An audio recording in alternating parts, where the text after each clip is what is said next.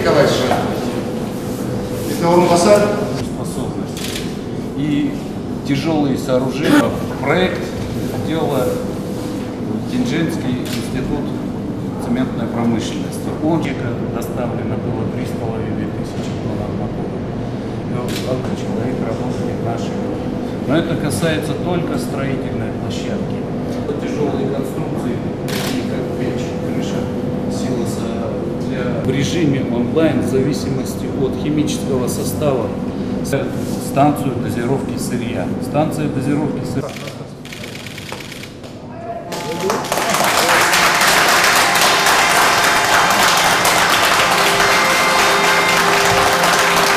ар бир керектүү жабдыктардын иштөө мөөнөтү акыбалы баардык жагдайларын барып ушул жерден көрсө болот Бизде мындай айтканда биз бирибизге таанышпайбыз.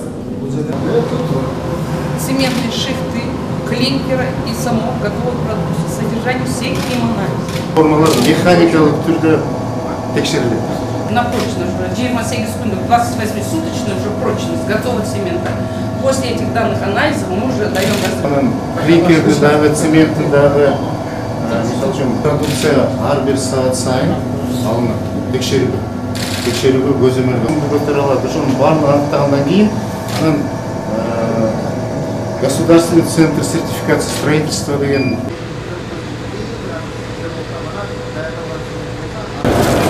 жаңы миксерде бул уникалдуу курулуш карасаңыздар бийликтиги жүз метр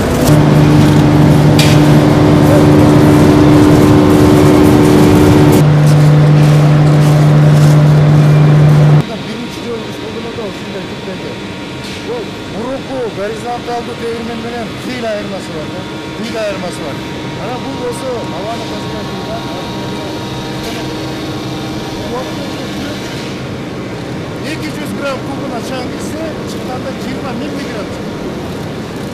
Açıska'nın bölümü 98 boyutla şey Aramızda hoş geldi. Fakat bir cebden toplatıp kaldı demesine. Ama sarımda ölmüşlerdi. Ulan cırma 1 milyon dolar sement çıkar. Zavutun kuruluşuna 80 insanı 400 milyon aşkı. 2023 yılın fevral ayında. Uşurgus'un Araban rayonunda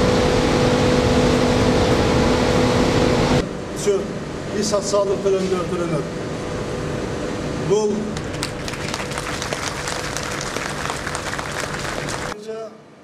adayın Cumhurcu Topçusu monitörün Topçusu durup savunma oldu. Bunu biz bulmuşuna, yana hiç kemerisine bölüm Cumhurşular olan bu zavod eksportқа бағытталған бірден бір жана орта бизнеске шарт түзу бойынша аларды ұзақ мөнір жұмысшы төрт түзіп мониторинг төрт түзіп тұрып ошо иш чекиси боюнча кайраш дедим мен ошол кайрашты экспорт. Қай жерде эмне кемчилик болгондугу компьютердин жардамында көрүлүп турат. Анын айтып бактарды айтып атабыз айрыкча миграциядан аткан мына бул боюнча дагы билесиздер урматтуу аравандык агайын туугандар урматтуу инвесторлор коноктор урматтуу жогорку кеңештин депутаттары мына бүгүн сиздер менен бирге биздин мамлекет экономикасында өлкөбүздө жакшы бир окуяга мына турабыз келечекте өнөр жайыбыздын мамлекет өнөр жайынын флагманы бирине айлана турган абдан чоң завод ачылууда бул завод мына курулуп жатканда жана көрдүңүздөр миңге жакын адам мына ушул жерде жумуш менен камсыз болду эми завод иштей баштаса мындан нары төрт жүз элүүгө чейин биздин жергиликтүү өзүбүздүн тургундардан жумуш орун түзүлөт жыл сайын мына бир миллион тонна цемент өндүрүлөт мамлекеттик казынага жана жергиликтүү бюджетке төрт жүз миллион сом мына каражат түшөт и социалдык төлөмдөр төлөнөт кыргыз мамлекет экономикасына экономикасын жана биздин элдин жашоо турмушуна бул завод өзүнүн барааңды салымын кошот мына ушун үчүн да силерге ыраазычылык билдирем бул заводду мен азыр көрүп чыктым ичинен бул өзүнчө акыркы технологияда салынган абдан ири завод 86 миллион доллар мына жумшалып мына курулду бул каражаттар дагы ар мамлекеттен ар инвестордон ар банктардан топтолуп салынган мына бул завод болду буну биз интернационалдык курулуш болду десек мына жаңылышпайбыз Biz bu zavod dostluktun, önörtöşlüktün birbiribizге болгон ишемдин ишенимден курулган завод болуп мына калды. Анткени заводдун курулушуна, курулушуна жана ишке беришине беш өлкөнүн салымы бар. Бул биринчи Россиянын, Кытай Республикасынын, Туркиянын, Голландиянын жана Кыргызстандын банктары жана ишкерлери катышты.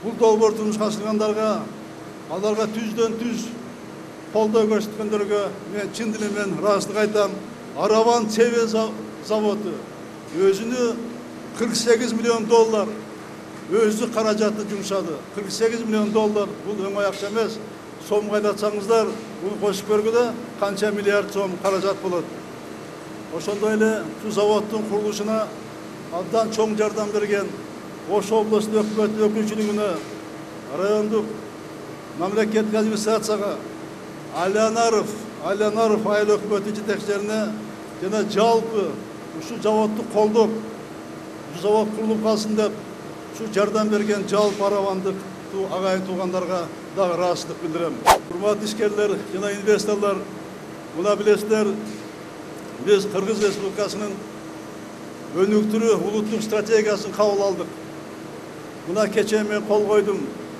кечээ доллар менен жолугуштум аларга аларга чейин бизде иштеп жаткан өнөр жай жана ишкерликте иштеп аткан ишкерлер менен жолуктум ассоциация төрагалары менен алар менен жолугуп биз өнөр жайды ишкерликти кандай көтөрөбүз